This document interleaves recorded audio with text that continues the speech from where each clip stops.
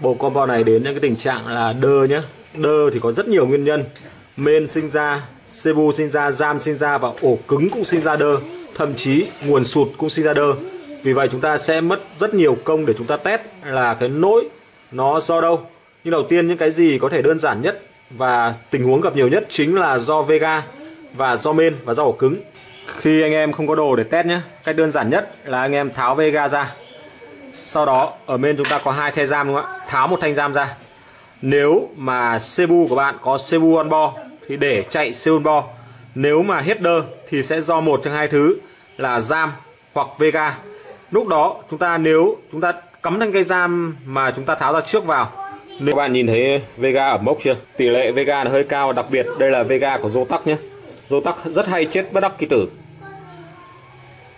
Đặc biệt là hay cháy lổ bây giờ anh em chúng ta sẽ cùng nhau chạy. Đầu tiên cứ full mắc đi. Đơn giản nhất. Đấy, sao trắng xóa màn hình này? Các bạn nhìn thấy chưa? Như này là lỗi Vega vì toàn bộ bộ combo Tùng đã ok nhé rất dễ dàng, đơn giản. Để chúng ta có thể xác định được một cái máy tính mà đơ do đâu. Đấy, các bạn nhìn thấy chưa? Nó mất hình ảnh kìa.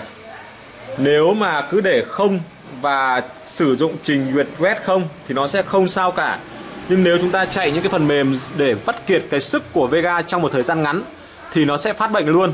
Đó là cách test Vega đơn giản nhất, hoặc đây chúng ta dùng cái phần mềm giả lập chơi game.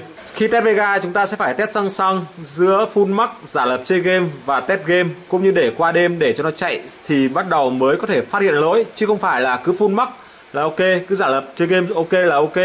Hay bất kể một bước nào, lên hình là ok nhé. Còn với những cái thằng Vega mà theo cái kiểu như này này các bạn, thích thì nó lên, không thích thì nó không lên, thì coi như là một cái Vega chết nhá. Chứ không nhận đến tình trạng là khi sửa chữa sẽ không bao giờ người ta nhận trong cái tình trạng là Vega đang chạy bình thường nhưng không chơi được game mà khi sửa sẽ phải trả các bạn. Nếu không sửa được sẽ phải trả các bạn là chạy bình thường, không chơi được game. Thì lúc đó thì thường thợ sẽ bảo các bạn câu là đập sừ chết đi, sửa cho dễ.